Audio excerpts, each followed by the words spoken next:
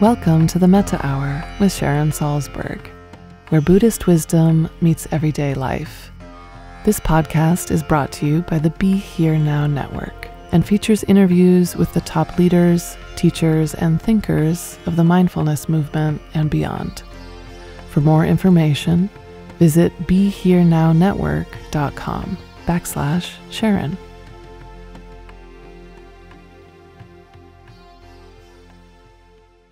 Hi, I'm Sharon Salzberg.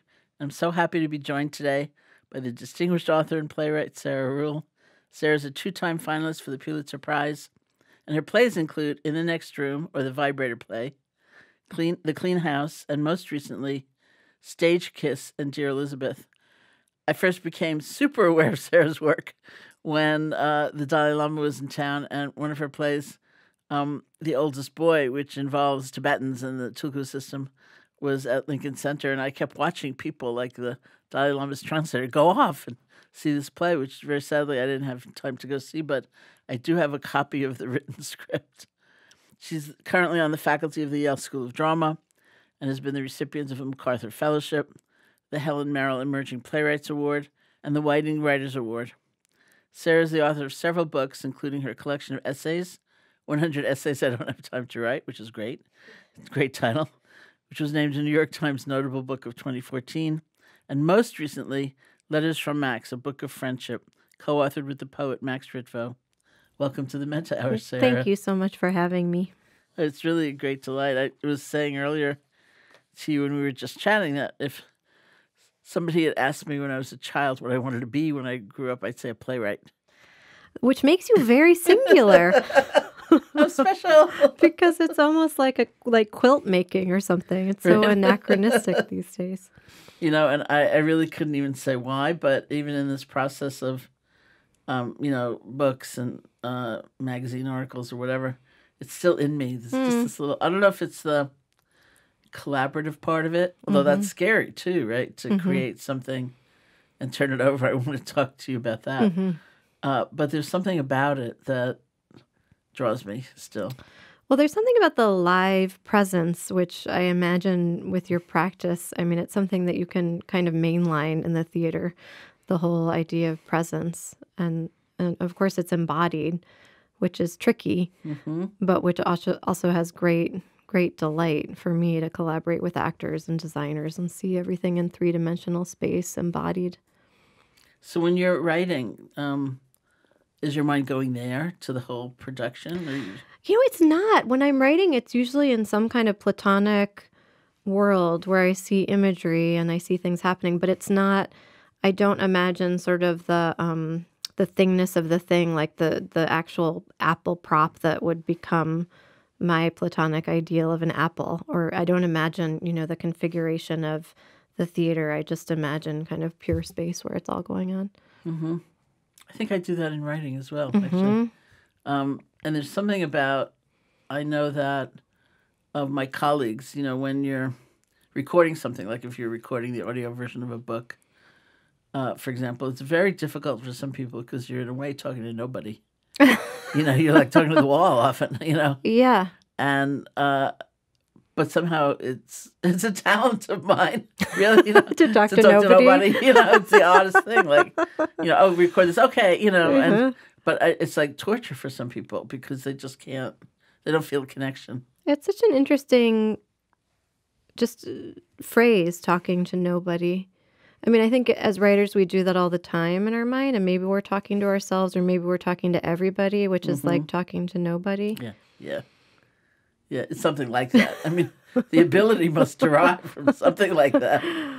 In it's my really interesting. when I teach at um, at Yale School of Drama, I tend to make them write gift plays so that they have an actual person they're addressing early on, just so that they're reminded that it's not a solipsistic act of creation, or it doesn't have to be that it can have a person that you're addressing. And I think that in playwriting, we seldom do that because we're thinking of sort of a wide audience who comes in to see your play. So, I mean, with poetry, you often have a person who's being specifically addressed, but in mm-hmm. playwriting, not as frequently. Now that's interesting because I was I, I still dance with the idea of writing a play. You must. Thank you. Yeah. And we just sit at your feet. Um, you know, and people say scary things to me like, well, you're supposed to tell the story that scares you. You know, you're supposed to go to like your hardest place. And I think, I don't feel like it. you know, like. I mean, you could or you could not. I yeah. definitely don't. I don't give that advice. Thank you. well, first of all, I don't know how to write a play. So that's a whole new form. And then on top of that, the scariest story is like, wait a minute. I also have to say, I have a wonderful teacher, Paula Vogel, and she's really the reason I started writing plays. But she would always say, Did she, you go to Brown? I did. She would say, if I, she wrote this play called Baltimore Waltz about her brother, Carl, who died of AIDS. Mm-hmm. And she mm-hmm. said, if I thought to myself, I'm going to write a play about my brother Carl, who I loved more than anything, who died of AIDS, I never would have gotten out of bed. So instead, I decided to write a play about a, a woman who goes traveling in Europe. And then I wrote a play about my brother Carl. Right. So she was always about how do you approach it indirectly, you know, rather nice. than go to the scary, dark place. Mm-hmm. Really, actually leave that stuff alone, like leave it to the side and concentrate on some other formal gesture. All that stuff emerges anyway. Oh, that's great. Thank you. Oh, well, she's the genius. She's the master. In Is fact, she still if, teaching at Brown? Yes. Well, not at Brown, but she does these boot camps in um all over, but also in Provincetown. Uh-huh. So if you want to write a play, my my first suggestion is go okay. study with Paula. I will. I will. I saw one of her plays recently, um, Indecent. Mm-hmm. I loved it. Yeah, it was magnificent. Yeah. Sort of learned a little bit more about her. Mm-hmm that's part of my you know my process here is that um, I officially live in Barre, Massachusetts, uh-huh. next door to the Insight Meditation Society. Right. Uh, it's where I vote. It's the only place I've ever uh-huh. voted. We've, lived, we've we've been there for you know forever for uh, over forty years. So. Mm-hmm. And um, I was writing a book called Faith, which came out on my fiftieth birthday, which was some years ago, mm-hmm. and uh, I just felt like I needed to get out of that home, even though it was tranquil and it's you know mm-hmm. it's country, it's beautiful, it's uh, everything you sort of dream about. And I thought I need to be away. Uh-huh.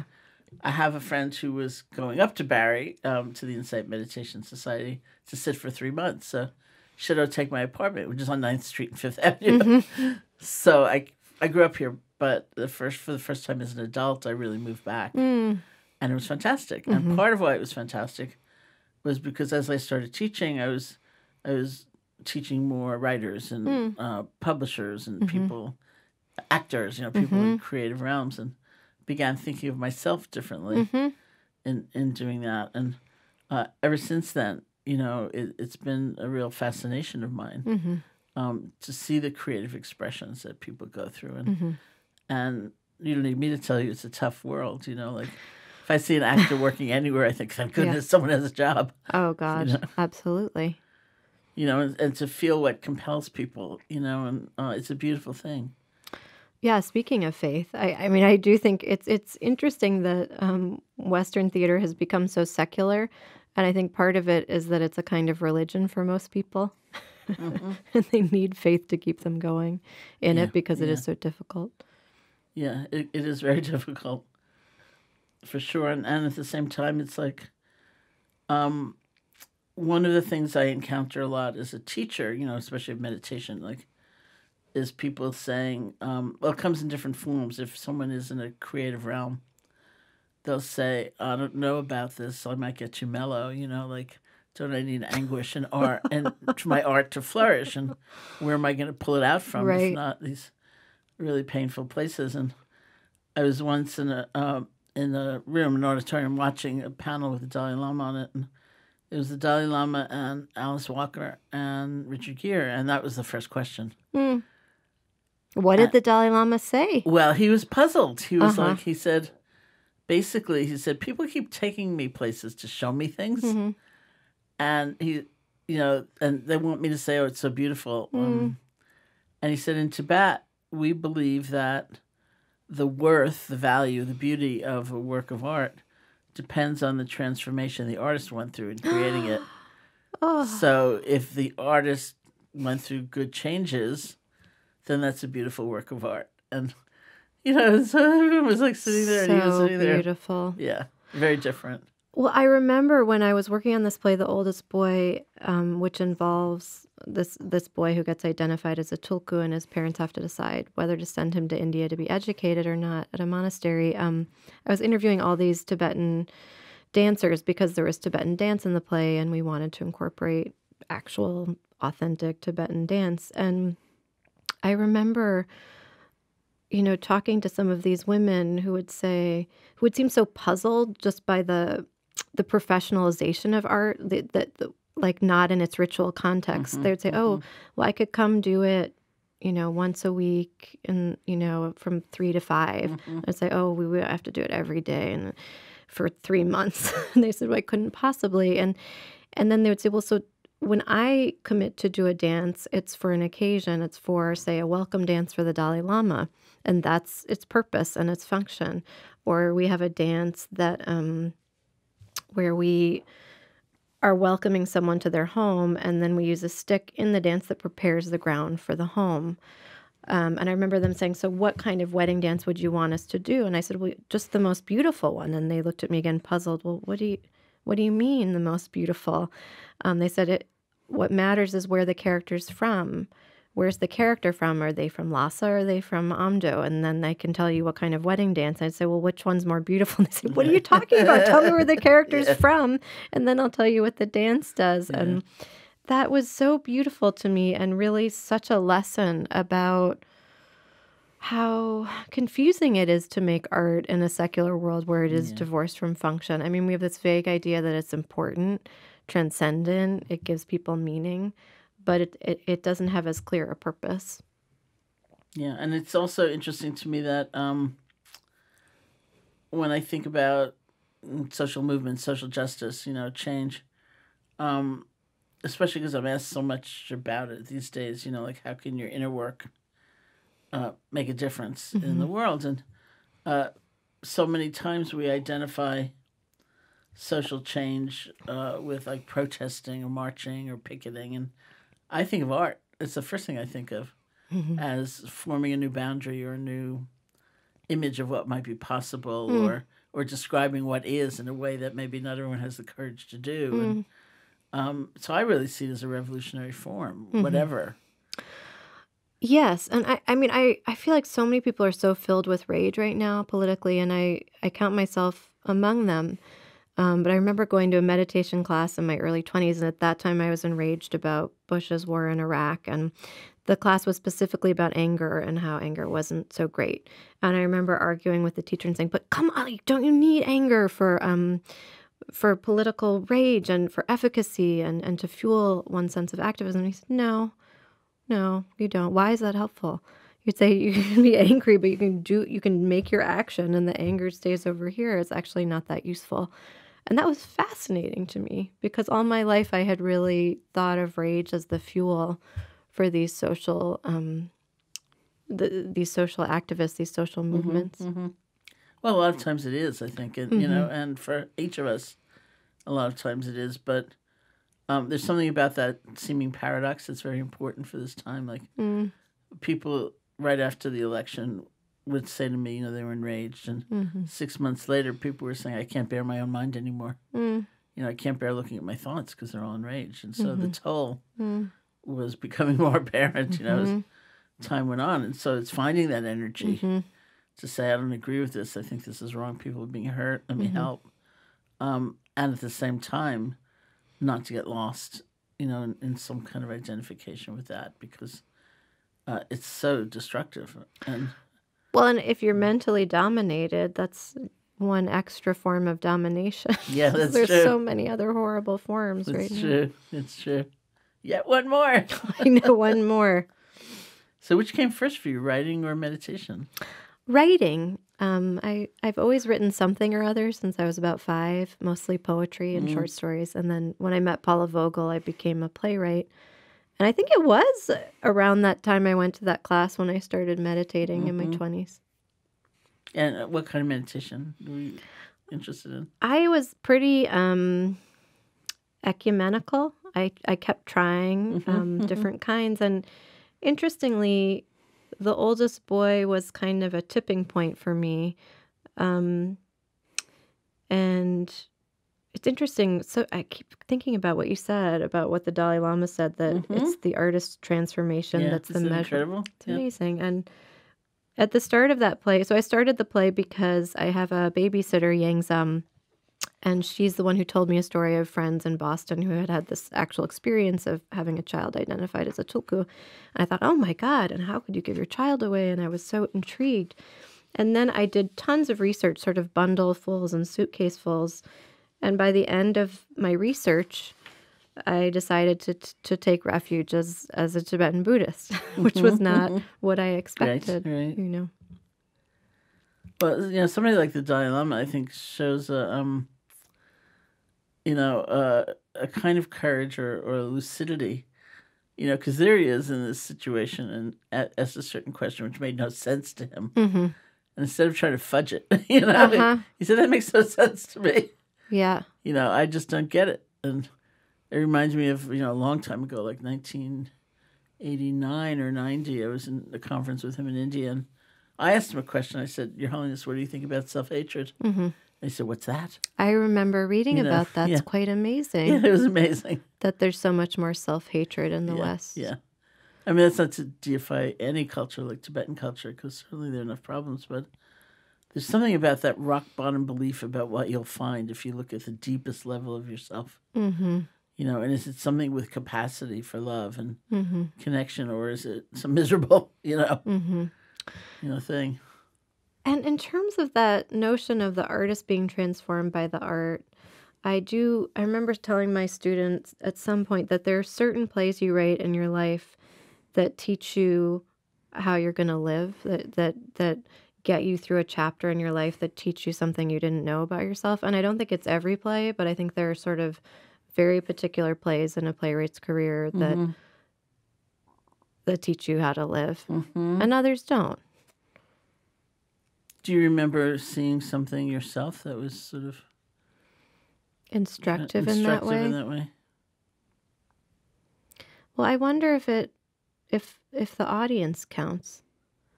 I mean, I guess I was thinking of the relationship between the artist and the play. Yeah, yeah.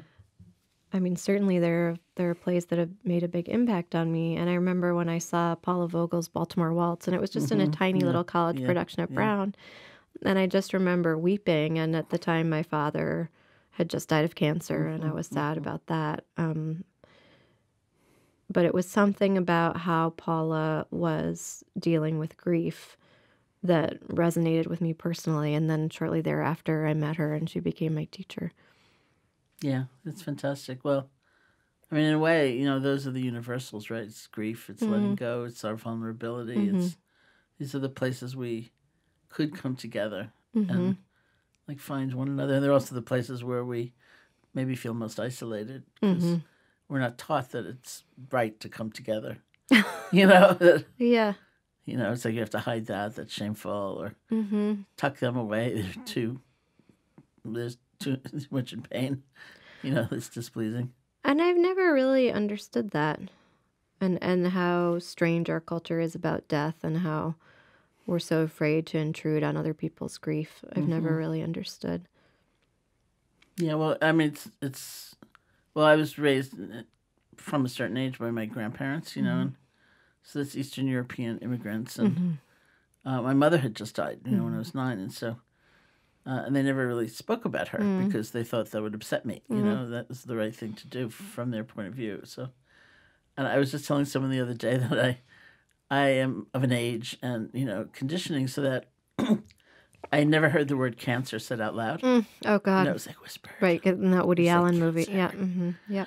And I went to teach just a few years ago at the University of Virginia uh, nursing school, and we went to their hospital, and you know I was on the oncology ward and speaking to the um, staff there, and and I found myself wanting to drop my voice. Like, oh, this is like cancer, you know, and, and I brought it up, and yeah. And most of the physicians were younger, you know, not to have quite the same exact conditioning, mm-hmm. but they knew what I was talking about mm-hmm. because mm-hmm. I mean, what an odd thing, you know, mm-hmm. like, um, wait a minute, you know, isn't this like a universal possibility, you know? Like, right. And when you can't say it, I think it acquires power, like Voldemort and Harry yeah. Potter. Yeah. Yeah. Let's just name it. Yeah. which brings us to meditation. You know, just, right? Which certainly some forms of meditation are based on exactly that. Let's just name it. Mm-hmm. You know, like this is my experience. This is what's happening right now. Mm-hmm. And then looking at all that we may be adding to it. This is the only experience I'll ever have, or I'm the only one, or mm-hmm. I should be able to stop this, or you know, all mm-hmm. this sort of extra. Well, and I love in your writing the way you teach people to reframe stories and to create new stories out of stories that have become ossified. Mm-hmm. Like I am incapable. that one, I can't do that. Yeah. Yeah, when you know when I was first, um, not even first teaching. Before I, I, thought of myself as a teacher, uh, I was living in India and I decided to live in India forever. I had to come back, but uh, I thought after that, you know, I'll just stay in India. So I went to see one of my teachers, this woman named Dipa Ma, um, who lived in Calcutta. And I was telling her, just I'm going for a brief period back to the States mm-hmm. and I'll be back here. And she said, well, when you go back, you're going to basically stay there and you can teach. And mm. I said, no, I'm not. She said, yes, you are. And I said, no, I'm not. she said, yes, you are. I said, no, I'm not. Yeah. And we went through, and finally she said two things to me, which were amazing. Usually I focus on the first, but you know this is sort of equal, uh, equally important in terms of the second. She said, "You really understand suffering. That's why you should teach," mm. which I considered sort of an amazing statement. You know, instead mm. of like your attainment is so dazzling, you know, like right. It was like you really understand suffering. That's a credential. Yep. Um, and then she said, "You can do anything you want to do. It's mm. your thinking you can't do it that's going to stop you." Mm. Uh, and I walked down those stairs thinking, "No, I'm not. I'm not going to do that." And mm-hmm. sure enough, as I came back, and life unfolded in mm. such a way that it was quite a long time. But one morning, I woke up and I thought of her statement. I thought. "Oh, she was right." So beautiful, and I do think sometimes our teachers give us permission to teach, and we wouldn't. I mean, it's it's easy to go through life thinking of yourself as a student and not a teacher. And. I think it's mm-hmm. actually very hard to make that transition. Mm-hmm. And sometimes it's the teacher who allows you to. Do you actually teach playwriting? And I do. And in, in, fact, it was Paula, funnily enough, um, who she was taking a sabbatical from Yale. And at the time, I had I have three kids, and I had two very little twins at the time. And and Yale called and said, "Could you substitute for Paula for a semester?" And I said, "Oh God, I never thought I'd teach with kids this young. I don't know." Um, and then, but sort of for Paula, I would do anything. So I did. And in fact, I found I absolutely loved it. Mm-hmm. And it was a good contrast from the crazy domestic sphere that I was in at the mm-hmm. time. Mm-hmm. Um, well, actually, I'm still in it, but it was more extreme when the yeah. babies were little. Yeah. And Paula, meanwhile, found that she really enjoyed having the time off to write. so then I, I just kept teaching. So I've been uh-huh. there for about eight years. And that's where I met um, Max, who um, I wrote this book with. Yeah, I want to get to that in a minute. And just before then, let me ask: yeah. Do you see phases? I'm I'm interested, of course, in what holds people back, like mm. your hmm. students. What you know keeps them from a full, more full mm-hmm. flowering of their ability, and mm-hmm. also, do you see waves or trends in that? You know, mm. in terms mm. of the second, I would say. Um, when someone comes to the Insight Meditation Society for a longer retreat, mm-hmm. uh, there's a form that they fill out um, and in the back of the form, we ask what uh, psychiatric medications one may be on, just mm-hmm. so that we know. And um, so there was one day, one year, not too long ago, I was flipping through just the back of the forms. And I saw, you know, anxiety medication, anxiety medication, anxiety medication, anxiety medication. And I said to my colleague, "What happened to all the depressed people? you know, like it used to be antidepressant, antidepressant. You know, or do they just call it something else now? Oh, well, that could it's be like the that, same medicine. That undoes my whole theory. You know, like wait a minute. You know, because I was really mm-hmm. thinking, oh, maybe we're in the age of waves. anxiety We're in the now. age of anxiety. So, I think we are. I think that's about right. Yeah. So, do you see certain patterns in people? Is there? Well, I read this study recently that concerned me, and I don't know really how you measure it, but that empathy was going down among the college age population. Oh, really? Yep. And I've seen, you know, some instances of that.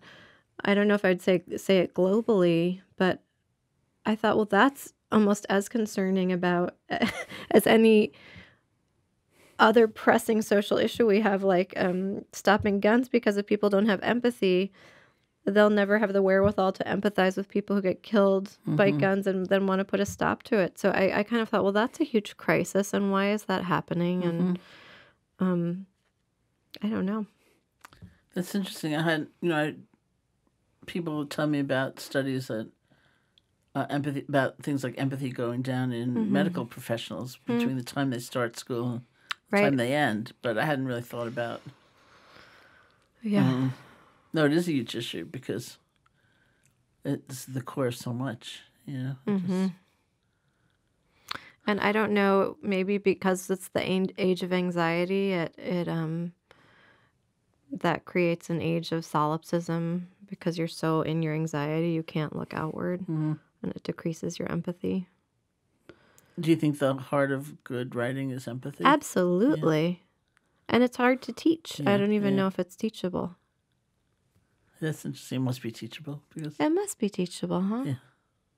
Well, you must teach empathy. I hope so. I hope it works. You know. So, in a way, you are the empathy teacher, or you do the best you can in conveying that value. Yes. Yeah. Yeah, because otherwise, wouldn't dialogue look like just unreal?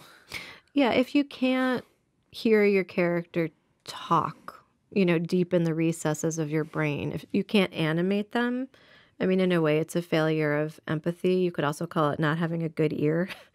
Um, but it's a listening ear. You're listening for the music of the speech, and you're also you're also you know listening with your heart and your body to how the character feels, and and that's what animates the character and gives them life. Mm-hmm. Beautiful, you know. So, and then you're, you know, go back to the Dalai Lama again in that statement. I keep thinking about Sometimes, you know, like you go to the Met or you go to some gallery and you don't even know how the statue came to being, how many years it took the the sculptor to create it, but you can't tear yourself away. You know, mm-hmm. you're just there. Mm-hmm. And so you can only imagine that that sculptor went through a lot in, mm-hmm. in creating that form. And that that's the gift. Mm-hmm. That's why you're mesmerized, is mm-hmm. because you're getting a little glimpse of what was likely their process. And I feel like you're mesmerized by their attention too. You're mesmerized by their absolute focus. Yeah. Yeah. Even if it took 20 years. yeah. yeah. So, your book, and you co authored a book called Letters from Max, a book of friendship. Can you tell us about how this book came into being? Yeah. So, Max was this extraordinary student who walked into my classroom, and he was a poet uh, and he wanted to take a playwriting class. And I remember at first he was in the no pile because he'd never written a play before, but I saw that he was in an experimental comedy troupe and was a poet. And I think those two things together sort of make a play. so I put him in the yes pile. And he just had an extraordinary mind. And he was in remission from Ewing sarcoma, which he'd had as a teenager. And then at the end of the semester of our course, he had a recurrence. And um, he and I became close friends and we wrote letters back and forth mm-hmm. when he mm-hmm. graduated from Yale and when he was in treatment. He was often traveling at the NIH or mm-hmm. in LA. And so at a point, we had amassed 200 pages or so of letters, some of them about the afterlife or meditation or poetry or soup. And um, we decided to make a book of them. Mm, beautiful. Because you think of any time, you know, that should be when pretense drops away and we're just talk about attention yes. presence, you know. And he was one of the most present people I've ever met. And the sicker he got, the more direct his gaze was. Uh-huh. It's very funny, you know, like if you have a glimpse of suffering of some kind, like you, um, I don't know, you're exposed in some way, and then you're out on the street at the party, you know, mm-hmm. and you're like, whoa, you know, people live on a certain level. Uh-huh. But behind closed doors, there's plenty going on. Yeah. And I think because my own father had been diagnosed with cancer when I was 20 and I was in college. Oh, sorry, he died when I was 20, diagnosed when I was 18. I was acutely aware that at college, it's it appears that no one's thinking about mortality. Um, and if you're in that mode of thinking about metaphysics and the afterlife and loss, and everyone else is thinking about who they're going to sleep with and whether they're going to get an A on their, mm-hmm. you know, biology exam. It's incredibly alienating. So I think I felt also an empathy for Max and a desire to let him talk about those questions if he wanted to. And, you know, even depending on the society, there's even a kind of forced isolation, which, you know, takes a lot of work to, to break through. So I'm thinking of somebody who came to see me once and uh, she had this terrible tragedy which resulted in someone's death about six months before and mm. terrible. And she said to me, you know, uh, my friends are kind of in a mode of like, get over it already, would you? You know? Mm. And I just looked at her and I said, this is not a six month thing, you know, like, mm-hmm. and, uh, and then she said, what I don't believe for a moment, she said, my friends all have golden lives. Mm-hmm. Nothing ever goes wrong for them. And that's the pre, that's the, mm-hmm. that's the presentation, mm-hmm.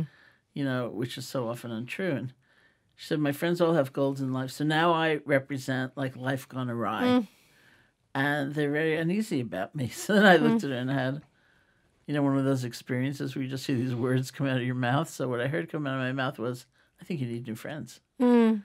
Mm-hmm. And then I said, "You should meet my friends. They're all Iraq." You know, like every time I tell that story with friends in the room, I am sorry, I didn't mean that exactly, you know. But there does get to be an mm-hmm. honesty I found, mm-hmm. you know, mm-hmm. through lots of different means, and certainly meditation is one of them mm-hmm where you just see, hey, you know, I'm really screwed up, or I'm really mm-hmm. afraid, or mm-hmm. or this is hard, and mm-hmm. I need help, you know, getting through this. And uh, but to see how rare that is in in society, how difficult it is to find, is it's just heartbreaking. Mm-hmm. And Max was not one for small talk. He was right in the in the big questions right mm-hmm. away, and and in his poetry too. You talked about in meditation the um, ability to name what's happening now. His poetry had that or has that in in in a glorious way where it was sort of this is my body now. And also, you know, a sensuality about the body and pain and suffering, but really naming what was happening to him mm-hmm. at that mm-hmm. particular mm-hmm. moment and not being afraid to name it. Is there a passage you want to read? Sure. Um, I thought I'd read a passage where we went back and forth about the concept of metta, since you're show is right. it's named Metta Hour. Metta Hour. Um, let's see. Uh, so this is fairly late in our correspondence. Um, was this like email or something? You know, it was email, and I I think the letters don't feel like email because I don't know because they were Max and he had a kind of old soul, but a lot of them were through email. So this is he begins talking about a friend of his named Melissa who had had died of Ewing sarcoma, which is what Max had. Today is the anniversary of Melissa's death. I did a metta meditation on a self-portrait she painted. Do you Tibetan Buddhists have metta? You go around three different faces you picture in your head. You start with a face you love, cough, sorry, I mean have positive feelings towards. You know how Zen is. I use you mm-hmm. often. then, after a few minutes, you move to a face that's relatively neutral, like a grocery store clerk you saw that day or John Kasich. Max is so incredibly funny. Um, then you move on to someone you have a quote, complicated and turbulent relationship with. For me, this is almost in- invariably an X. As you look at each face, you recite, I wish you peace, I wish you happiness, I wish you freedom from internal and external harm. I sometimes add, however you define it. The idea is that your natural compassion towards someone you love can teach you how to offer compassion to those you're having trouble with. It was so strange to do metta for a dead person. My first thought was, well, she is certainly more peaceful now than when I knew her and she was terrified of dying, and she's definitely not going to be internally or externally harmed, unless her bones count as her because maybe they're being hurt by soil or bugs. But happiness, how on earth can a dead person be happy? Or are dead people always happy? I thought about when I'm happiest. It usually means nothing is going wrong in my head. I'm not anxious about anything. Life is pleasant when you're not anxious, sort of all on its own. If you're not anxious and there's a wall in front of you, you think, nice wall. And the creamy beige of the wall just sort of flows through you like vanilla ice cream. And that's, I think, what Buddha was talking about when he said desire causes all suffering because anxiety is always a form of desire. I want this to go away. If only I had this. If only this were different. But is happiness just a negative state? I know there's ecstasy and joy, but I don't think that's what you're supposed to wish someone in metta. Actually, I think most of my ecstasy is just me realizing, oh shit, I'm really happy, and getting overwhelmed with how rare and strange that is. I remember one time teaching Victoria how to crab walk in our apartment, and then I realized it had been a good hour or two without an anxious thought. There hadn't been an intrusive need to change where I was in the world or who I was with. There was no tormenting memories of shameful things I'd done or people who'd wronged me. And I thought, oh shit, I'm really happy. yeah. And then I threw her on the couch, showered her with kisses, and started weeping and wailing with ecstasy. Teacher, what is happiness? Wow. Um, and then I can read a reply. It seems yeah. sort of banal after reading Max's. Um, you ask if the dead are happy and what is happiness. I think the poets know better what happiness is than philosophers do. Charlie Brown's friend said, Happiness is a warm blanket. Sei Shonagon has a list of things that give her pleasure, including piecing back together a letter that someone has torn up and thrown away, and finding she can read line after line in it. She also has pleasure when someone she loves is praised by others, or when someone she loves and who is far away is taken ill and news arrives that the illness has taken a turn for the better. And she says, when a poem that you've composed for some event is talked of by everyone and noted down when they hear it, this hasn't happened to me personally, but I can imagine how that would would feel. Um, things that make me happy. When I wake from a nap and the light on my walls is bright with daylight, when my husband's eyes are alight with something he finds funny, when my children crawl into my bed and lie on top of me, when an old friend calls and I putter around and do dishes while catching up with them, swimming, magnolia trees in March, a perfectly brewed cup of tea, and letters from you, Max.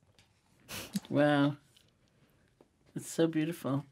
Thank you. And it's so touching. You know, I should probably say metta, M E T T A. Yes, metta. Uh, is a word in Pali, the language of the original Buddhist text, and uh, is usually translated as loving kindness. Mm-hmm. I've had scholars and translators say to me, I've had scholars and translators say to me, just say love. Stop being so squeamish, you know. Will you tell me more about that? I'm so, I have such questions about that, about why love versus loving kindness. I mean, maybe it's because I was raised Catholic where it's all about love.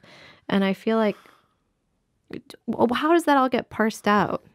Well, um, according to these translators, uh, the early uh, translators from Pali and Sanskrit were trying to distinguish the Buddhist perspective from the Christian perspective. Uh-huh. So they weren't using love, they were mm-hmm. using loving kindness. I think you could really use either, of course. Mm-hmm. They're strange in different ways, you know. Right. Like loving kindness is odd just in that you so rarely hear it in casual conversation. Mm-hmm. So it might make the quality itself seem arcane and mm-hmm. removed from day to day life.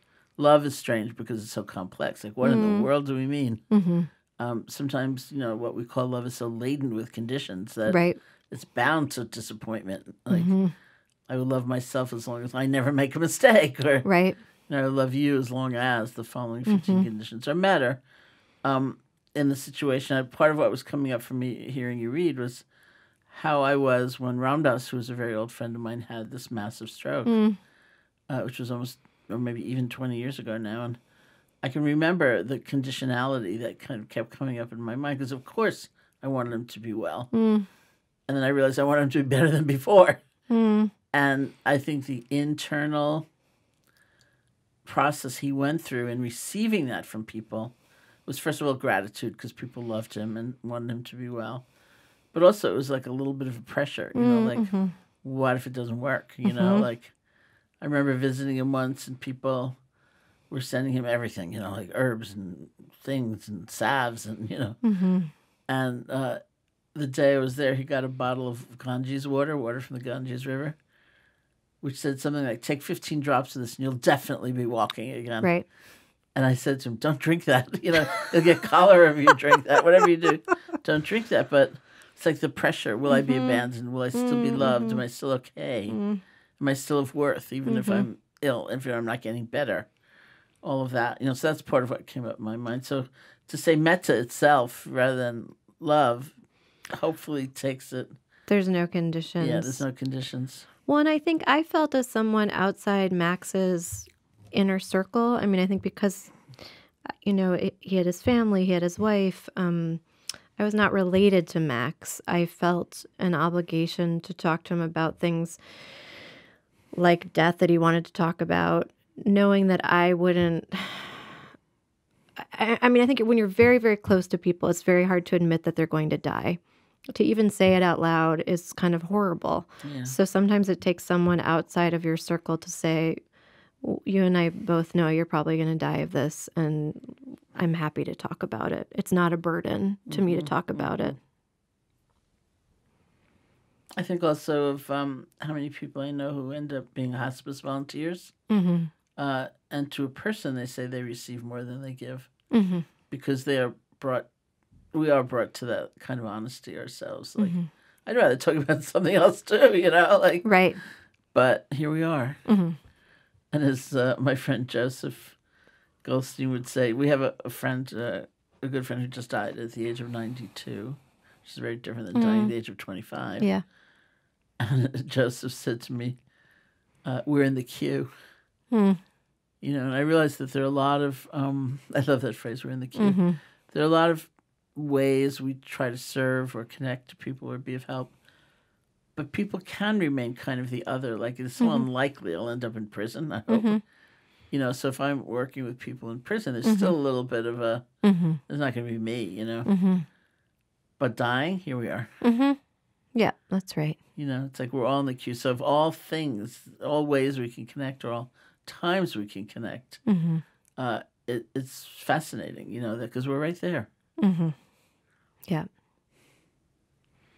You know, and I can't even imagine having the kind of presence and that he's showing in that passage. You know, at the age of twenty five. Oh, it's he was astonishing um, bringing up hospice, it makes me think I should read his poem called Hospice okay, if we yeah, have time. Oh, should I? Let's see if I can find it. I didn't mark that one. And this, I think you'll know better than I will what the reference is to what sutra. Uh, okay, it's called Hospice. My head is a bed on fire. You leave the bed and leave me without thought the springs want to embrace each other, but they're afraid if they break their spiral, they will never be able to hold anyone. I wish you would let me know how difficult it is to love me. Then I would know you love me beneath all that difficulty. You are tending not only to me, you tell me, but to your other child, Air. And Air puts his feet in my slippers, and Air scrubs his teeth on my brush. And wherever my demands are not, there are his. And we must learn to share a bed we must learn to share a body. The money is running low. We will have to split one needle this winter, one end for me, one end for air. Mm.